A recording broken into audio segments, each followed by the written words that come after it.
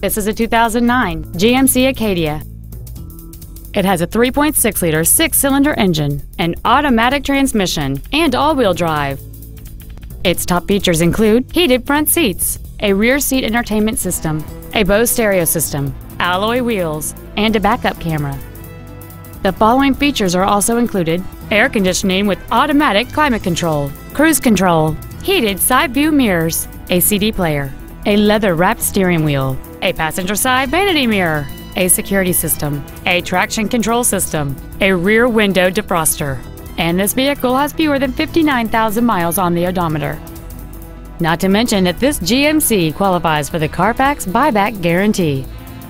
Contact us today and schedule your opportunity to see this vehicle in person.